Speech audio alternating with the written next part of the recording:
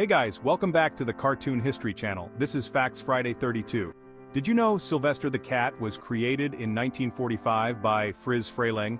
Sylvester is based on a tuxedo cat and a clown.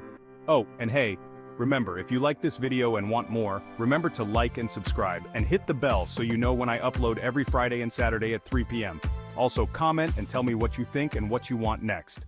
Settings. Use clear American voice for the narrator.